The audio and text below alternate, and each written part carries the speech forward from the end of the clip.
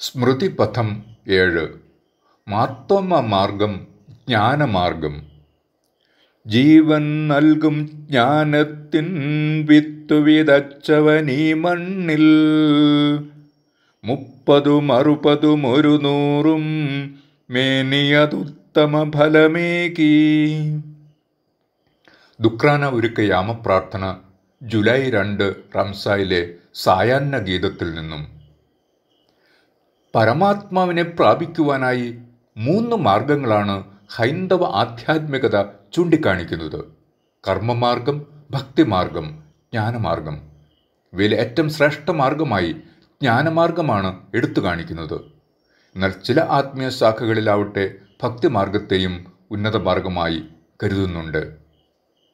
ഭാരത അപ്പസ്തോലൻ മാർത്തോമാസ് ലിഹായുടെ മിശിഹാനുഭവത്തിന്റെ പ്രാരംഭദശയിൽ തന്റെ ഗുരുനാഥനുമായി താതാത്മ്യം പ്രാപിച്ചുകൊണ്ട് അവനോടൊപ്പം മരിക്കാൻ കാണിക്കുന്ന സന്നദ്ധത വൈകാരികമാണെന്ന് പറയേണ്ടിയിരിക്കുന്നു.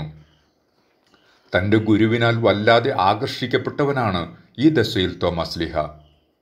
അത് മാർത്തോമ മാത്രമല്ല തുറവിയുള്ള നിഷ്കളങ്ക ഹൃദയത്തോടെ ഈശ്വതമ്പുരാനെ സമീപിച്ച് അവനെ അറിയുവാൻ ശ്രമിച്ചവരെല്ലാവരും തന്നെ എന്തോ ഒരു മാസ്മര ശക്തിയാൽ അവനോട് പറ്റിച്ചേർന്ന് നിൽക്കുവാൻ കൊതിച്ചിരുന്നവരായി കാണാം.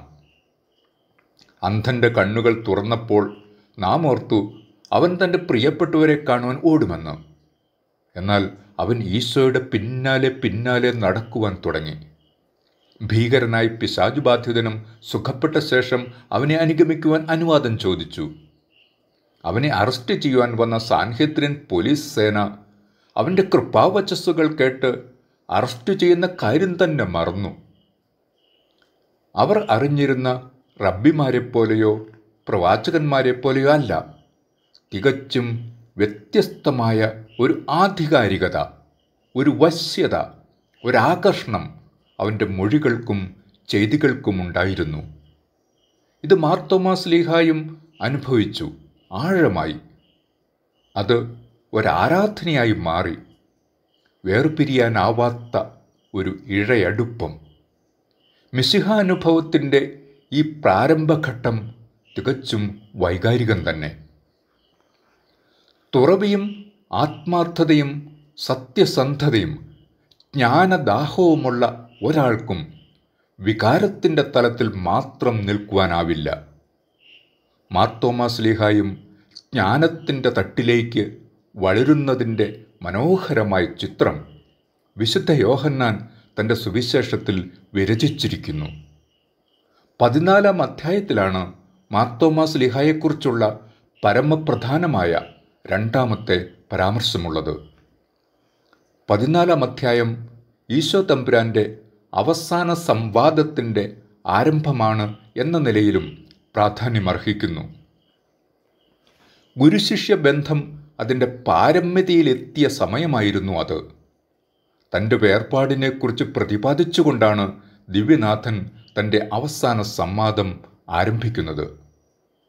ജീവനേക്കാളേറെ തങ്ങൾ സ്നേഹിക്കുന്ന ഗുരുനാഥന്റെ വേർപാടിനെക്കുറിച്ച് കേട്ടതേ ശിക്ഷകണം അസ്വസ്ഥരായി. എന്നാൽ താൻ വീണ്ടും വന്ന് തന്റെ പ്രിയരെ താനൊരുക്കിയ സ്ഥലത്തേക്ക് കൂട്ടിക്കൊണ്ടുപോകുമെന്നും അതിനാൽ ദുഃഖിതരാവേണ്ടെന്നും അരുൾ ചെയ്യുന്നു. തുടർന്ന് ഞാൻ പോകുന്നിടത്തേക്കുള്ള വഴി നിങ്ങൾക്കറിയാം എന്ന് ദിവ്യഗുരു ശിഷ്യഗണത്തോട് പറയുന്നു. ഈശോ തമ്പുരാന്റെ ഈ പ്രസ്താവന ശിഷ്യന്മാരിൽ വലിയ ആശയക്കുഴപ്പമുണ്ടാക്കി. ആർക്കും അങ്ങോട്ടേക്കുള്ള വഴി മനസ്സിലായിട്ടില്ല. ഇത്രയും നാൾ കൂടെ താമസിച്ച ഗുരുവിനോട് പക്ഷേ അറിയില്ല എന്നെങ്ങനെ പറയും? അതേസമയം ആ വഴി അറിയണമെന്ന ഉത്കടമായ ആഗ്രഹവും. ഈ അവസരത്തിൽ നമ്മുടെ പിതാവായ മാർത്തോമാ ലിഹായുടെ തനത്തായ വ്യക്തിത്വം പ്രകടമാക്കപ്പെടുന്നു. ആത്മാർത്ഥതയും തുറവയുമുള്ള തോമ യാഥാർത്ഥ്യബോധമുള്ളവനുമായിരുന്നു.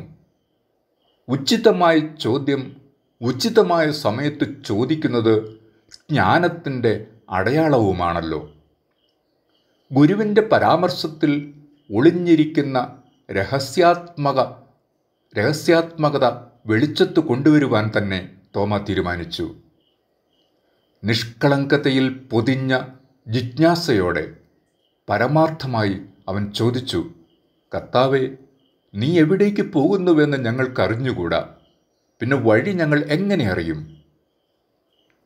പത്രോസ് ഗുരുവിന് വേണ്ടി മരിക്കുമെന്ന് പറഞ്ഞപ്പോൾ അതിനു മുമ്പായി മൂന്ന് തവണ നീ എന്നെ തള്ളിപ്പറയുമെന്ന് ഈശോ പറഞ്ഞിരുന്നു.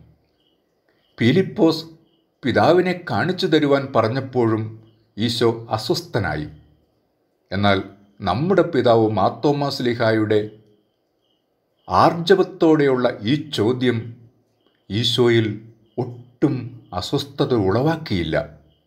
മാത്രമല്ല ഉടൻ തന്നെ ഇതുവരെയും ഒരു മതസ്ഥാപകനോ ആത്മീയ ആചാര്യനോ പറയുവാൻ ധൈര്യപ്പെടാത്ത ഉന്നതമായ നിഗൂഢജ്ഞാനം ഈശോ തമ്പുരാൻ തോമായുടെ ചോദ്യത്തിന് ഉത്തരമായി വെളിപ്പെടുത്തുന്നു.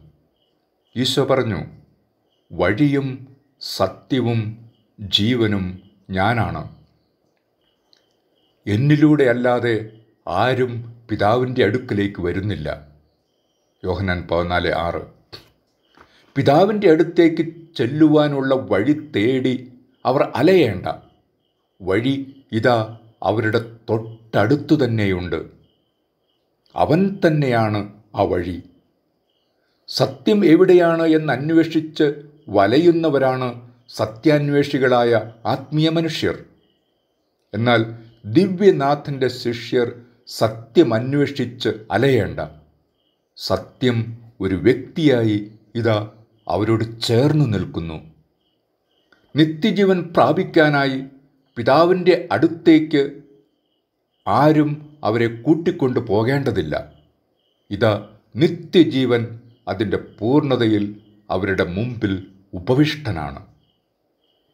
തന്നെയുമല്ല താനല്ലാതെ പിതാവിന്റെ പക്കലെത്താൻ മറ്റൊരു വഴിയുമില്ല എന്ന് അസന്ദിഗ്ധമായി അവൻ ആ നിമിഷം പ്രഖ്യാപിച്ചു കഴിഞ്ഞു.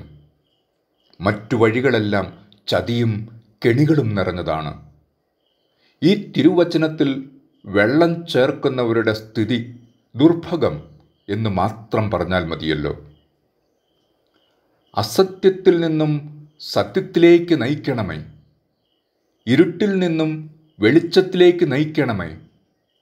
മരണത്തിൽ നിന്നും ജീവനിലേക്ക് നയിക്കണമേ എന്ന് പ്രാർത്ഥിച്ചുകൊണ്ട് രക്ഷകനെ കാത്തിരിക്കുന്ന ഭാരത നാട്ടിലേക്ക് ഈ സത്യവചനം എത്തിക്കുവാനായി നമ്മുടെ പിതാവായ മാർത്തോമാസ്ലീഹായെ ഒരുക്കുവാനും ഈ അവസരം സർവജ്ഞാനിയായ മിശിഹ തമ്പുരാൻ ഉപയോഗിച്ചു എന്ന് വിശ്വസിക്കാം.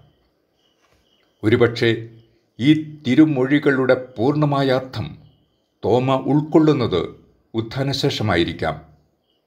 എങ്കിലും വൈകാരിക തലത്തിൽ നിന്നും ജ്ഞാനത്തിന്റെ ഔന്നത്യത്തിലേക്ക് തന്റെ മിശുഹാനുഭവത്തിന്റെ രണ്ടാം ഏടിൽ തോമസ് ലിഹ വളരുന്നതായി കാണാം.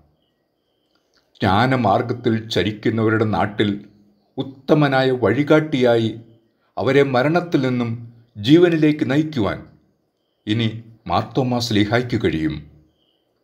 അതിനിഗൂഢവും ജീവൻ നൽകുന്നതുമായ ഈ രഹസ്യം മാർത്തോമാസ് ലിഹ വഴിയായി നമ്മുടെ പൂർവപിതാക്കൾക്ക് ലഭിക്കുവാൻ ഇടയാക്കിയ പരമപിതാവിന്റെ അപാരമായ കരുണയ്ക്ക് ഈ ദുഃഖാന തിരുനാളിൽ നന്ദി പറയാം.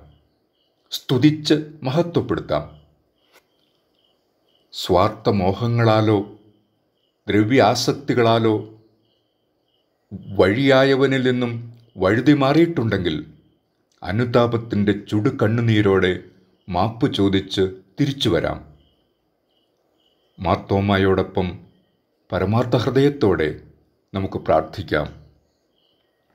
സുവിശേഷത്തിൻ സന്ദേശം ഞങ്ങൾ കേകാൻ തോമായേ ഭാരതഭൂവിലയച്ചവനാം നാഥനെ വാട്ടാം സാമോദം. താതാത്താവക ചരമദിനം റൂഹാതൻ സംഗീതികളാൽ കൊണ്ടാടുന്ന ജനത്തിനു നിൻ പ്രാർത്ഥനയഭയം നൽകട്ടെ